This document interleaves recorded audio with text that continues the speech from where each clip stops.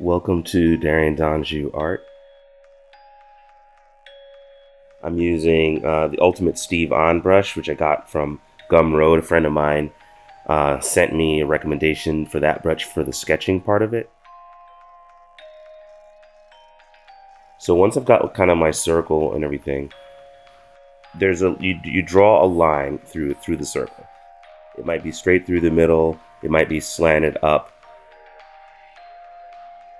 So then what you do is we're going to draw the top eyelid, but it just it ends up crossing that line, outer line of the of the circle that you drew. So the the bottom eyelid comes across and then meets up there right at that same far corner. Then there's the kind of the crease of the upper eyelid, but that's going to curve across and that can that can go all the way across to that line that you made.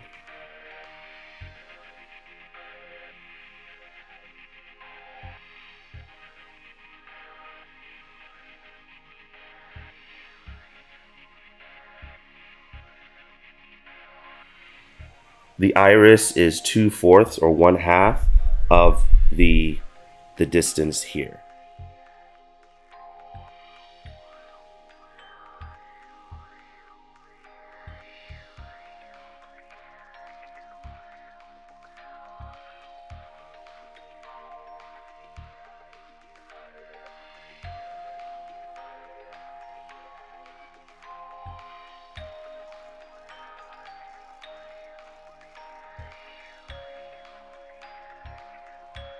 So see you've got there the sketch of the eye.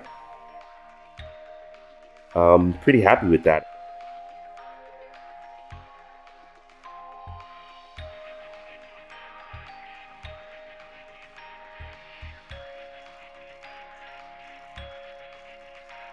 All right, so the sketch is there, and now you what you'll see is you see these reference photos. So I found these reference photos from Google. We're looking to make a convincingly painted eye, right? So we're moving to the painting stage, and the idea is to get it to be convincing. We're not going for hyper realistic, and part of the thinking behind that is that um, you know, as I'm in a learning stage, I don't want to get too too bogged down in making trying to make things too too perfect. For me, the fastest way that I learn is to do things over and over and over again. So rather than try to go for for like perfection in one go, I'd rather kind of like solidify the steps and the workflow of getting there, and then you know once I get that workflow down and repeat that it just you know hopefully uh, i can get it to become sort of a muscle memory thing. So where some of the steps that i'm going to kind of go through I, I, might be able to skip later on once i've done this you know a hundred times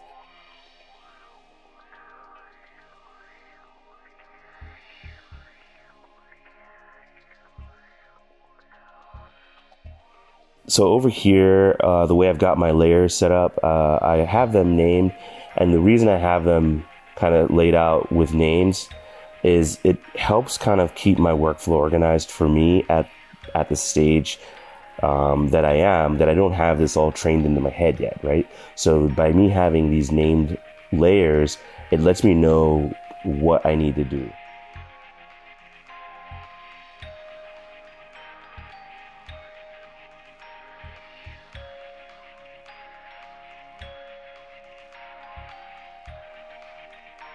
Okay, so real quick, let's talk about the brush. So, um, I, for painting, for sketching, as you saw, I was using uh, Steve's On, Ultimate Steve On brush. And that's what I use for, um, for the that's what I used for the sketch. But now that I'm in the painting mode, um, I'm going to Ahmed Aldoori's uh, brushes that he's created. Ahmed Adori is just amazing uh, as, as an a digital painting artist. And so he's got a number of brushes that he made available on Gumroad. Um, and so the one I'm going to pick is this Hard Round 1021. Um, and a number of tutorials that I've followed use are using similar brushes or talk about brushes that are for digital, that painterly style. You want to have like a hard brush. Um, for many beginners, you could go with a soft round, but I'm to try to kind of just more so go with the painterly approach. And I'm sure that that'll make life a little more challenging for me, but it is the way that they say it's recommended. So I'd rather just go ahead and, and learn it that way.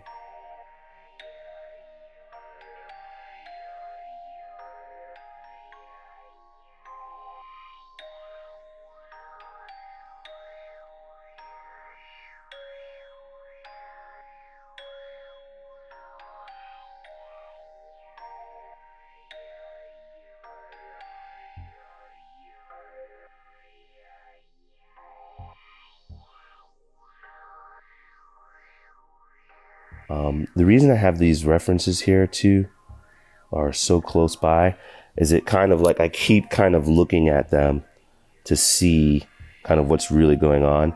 And you know, they're different. The different references remind me that, you know, it might be a little different on each of them.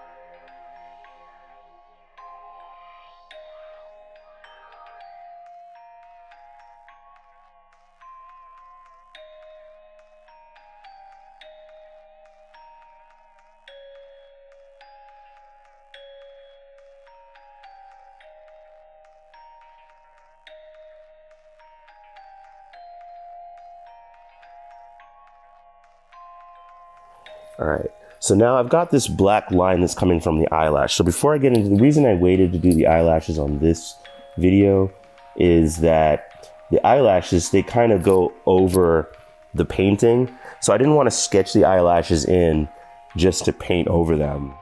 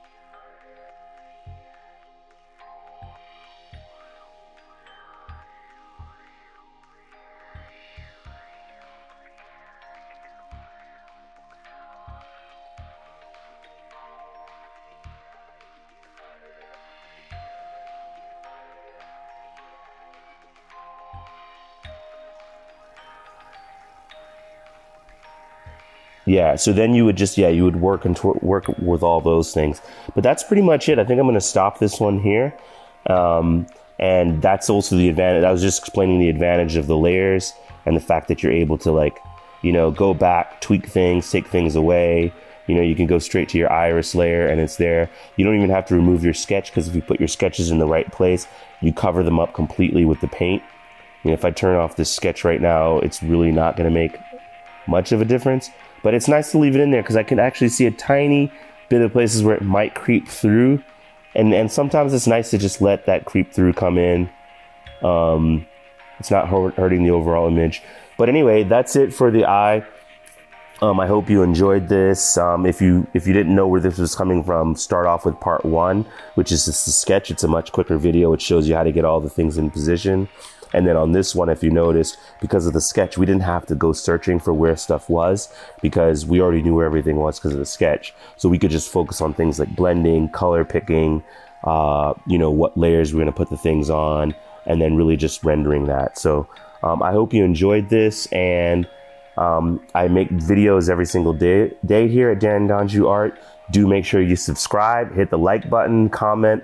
All that stuff helps. You know, you don't have to give any money, but if you just give your participation, that helps build the community. And um, it definitely gives me a lot of encouragement to keep making these videos every single day. Come back here. There'll be a new video every single day. So I'm glad you were here, and I'll see you tomorrow.